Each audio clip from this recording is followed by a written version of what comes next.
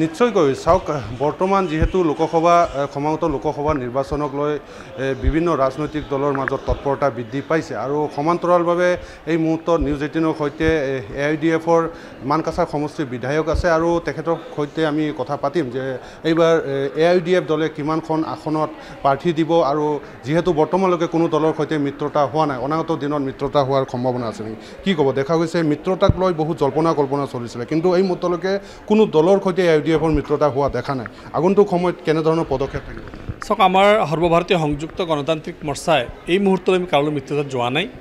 আৰু আমি এটা কথাই বাৰ বাৰ জোৰ দি আহিছিলোঁ যে বিজেপিক সাম্প্ৰদায়িক আৰু ভ্ৰষ্টাচাৰী বিজেপিক যদি পৰাভূত কৰিব লাগে লাইক মাইণ্ডেড ছেকুলাৰ পাৰ্টিবিলাক এক হোৱাৰ প্ৰয়োজন আছে। আৰু সেই ক্ষেত্ৰত আমি বাৰে বাৰে এটা কথাই কৈছিলোঁ যে টীম ইণ্ডিয়াৰ লগত টীম ইণ্ডিয়া যেতিয়া হ'ল তেতিয়াও আমি কৈছিলোঁ যে টীম ইণ্ডিয়াত যিখিনি বিজেপি বিৰোধী শক্তি আছে একগোট কৰিব লাগে। কিন্তু কংগ্ৰেছে এই মুহূৰ্তত বিজেপিৰ বিৰুদ্ধে নালাগি অকল ইউ ডি এফে য'ত য'ত প্ৰাৰ্থী দিব ধুবুৰী নগাঁও আৰু কৰিমগঞ্জ তাতহে তেখেতসকলৰ তৎপৰতাটো বেছি বৃদ্ধি হোৱা দেখা গৈছে। ইউ ডি এফ কিন্তু চেণ্টাৰতো নাই ষ্টেটতো নাই।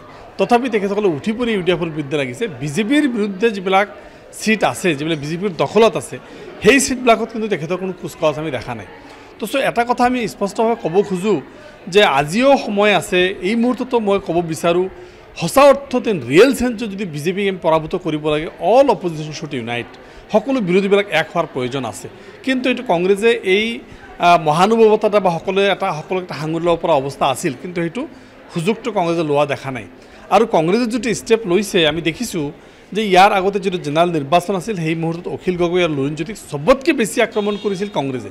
যে হেমন্ত বিশ্ব শৰ্মাই টকাৰ ইলেকশ্যন খেলিছে ভোট ডিভিজন কৰি বিজেপিক সহায় কৰি দিছে এই কথাবিলাক কংগ্ৰেছে কৈ আছিল।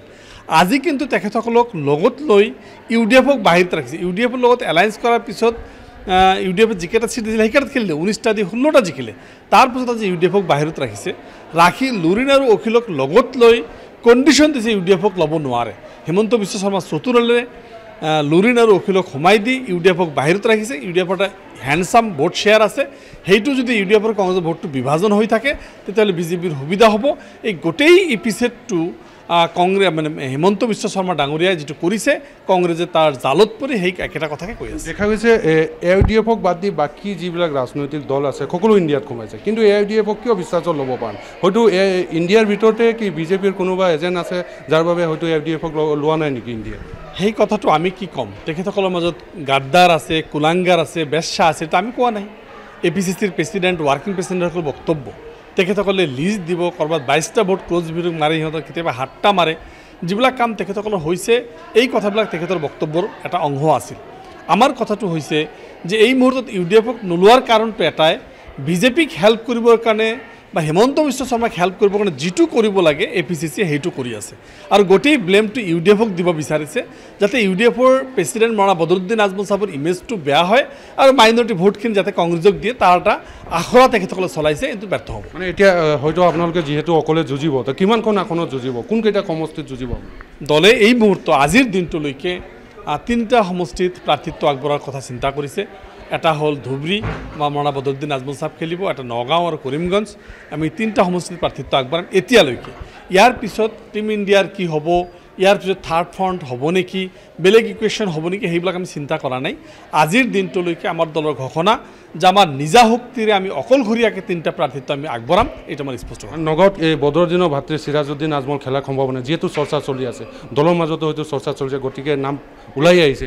এইটো ৰাইজৰ মাজত চৰ্চা চলিছে কিন্তু আমি এতিয়ালৈকে এপ্লিকেশ্যন আমি ইনভাইট কৰা নাই। এপ্লিকেশ্যন আহিলে কোন কোন আহিব আহ, কাৰ কাৰ নাম আহে আমি ৰাইজৰ মাজত সমৰ্থন বিচাৰিম। কাৰ নাম আহে দেখা যাব। এই মুহূৰ্তলৈকে আমাৰ যিকেইটা নাম আমাৰ চৰ্চাত আছে সেইকেইটা হ'ল হাজি আমিনুল ইছলাম চম্পক কলিতা জেহেৰুল ইছলাম ডক্টৰ আহ, চিৰাজুদ্দিন আজমল নাচাবৰ নামো আহি আছে।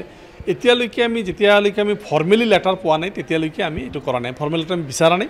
ফৰ্মেল লেটাৰ বিচাৰিলে কোন কোন এপ্লিকেশ্যন কৰে তাৰ ওপৰত সিদ্ধান্ত কৰি দলীয় সতীৰ্থসকলৰ মতামত লৈ আমি সিদ্ধান্ত ল'ম দেখা গৈছে সাম্প্ৰদায়িক মন্তব্যৰ কাৰণে জলেশ্বৰৰ বিধায়ক কংগ্ৰেছ বিধায়কক গ্ৰেপ্তাৰ কৰিছে। আৰু শেহতীয়াকৈ দেখা যায় বদৰুদ্দিন আজমলৰ বিৰুদ্ধে গোচৰ তৰা বুলি খবৰ লাভ কৰা হৈছে। কি ক'ব আহ, আফতাবুল্লাহ যিটো দিছে তেখেতে ক্ষমা খোজাৰ পিছতো তেখেতে জেলত যাব লগা হৈছে মানে লকাবত যাব লগা হৈছে অত্যন্ত দুৰ্ভাগ্যজনক। মোৰ স্পষ্ট কথা সেইটো বদৰুদ্দিন আজমলেই হওক মাননীয় মুখ্যমন্ত্ৰী ডাঙৰীয়াই হওক আফতাবুদ্দিন হওক বা মই নিজেই হওঁ কোনেও কোনো সম্প্ৰদায় বেলেগ সম্প্ৰদায়ৰ ওপৰত- টাৰ্গেট কৰি কথা ক'ব নালাগে।